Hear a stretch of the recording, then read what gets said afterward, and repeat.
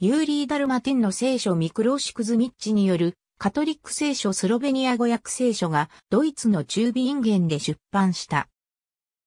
旧約、新約ともに初のスロベニア語翻訳に臨んだのはプロテスタントの文筆家で神学者のユーリー・ダルマティンであった。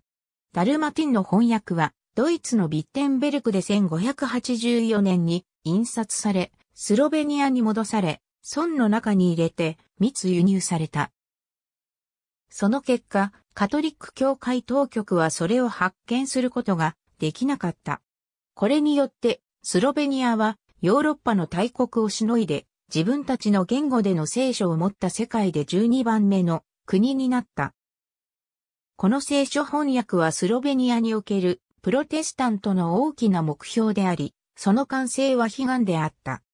カトリック用のスロベニア語聖書は遅れて、1784年に新約聖書の一部がブルガータから翻訳されて、スロベニアの首都リブリアナで出版され、1786年には新約全書が完成した。